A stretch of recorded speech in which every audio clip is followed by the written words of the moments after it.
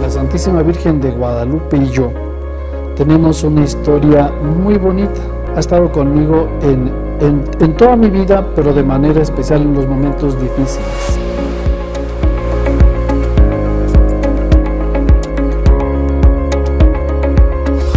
Yo soy originario de una comunidad que se llama Guadalupe Victoria. La patrona es Nuestra Señora de Guadalupe. Cada año en el seminario íbamos a la peregrinación a la Basílica de Guadalupe. Me mandan como diácono a Guadalupe Volcanes. Como vicario mi primera experiencia a Guadalupe. Primera experiencia como párroco, Guadalupe Volcanes. Y últimamente Dios llamó a su presencia a mi mamá hace casi nueve meses. Y, y ese día, el 9 de febrero, los seminaristas que iban de peregrinos a pie a la Basílica de Guadalupe pasaron, pasaron a la parroquia, allá Guadalupe Volcanes, y tomaron el desayuno.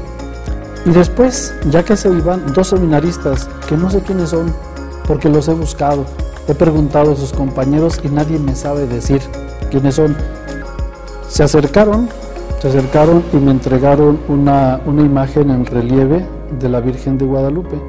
Me dijeron, Padre, para que siempre esté con usted. Eran aproximadamente las 11 de la mañana. A las 3.20 de la tarde mi mamá estaba regresando con Dios. O sea, la Virgen se me adelantó para decirme, aquí estoy contigo. Y como esa podría contar muchísimas, muchísimos otros momentos. Siempre que le he necesitado, haya estado. Y cuando digo que haya estado, físicamente haya estado. Porque volteo hacia este lado tengo una dificultad, tengo cualquier problema, tengo una situación difícil, volteo y ahí me la encuentro. Ahí está su imagen.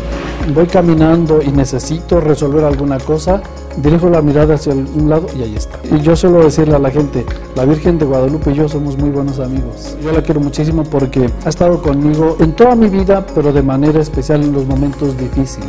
Porque ella eh, me ha salido siempre al encuentro y yo trato siempre de corresponderle. Eh, por eso es, eh, después de nuestro Señor Jesucristo, es la persona a quien más quiero y en quien más confío.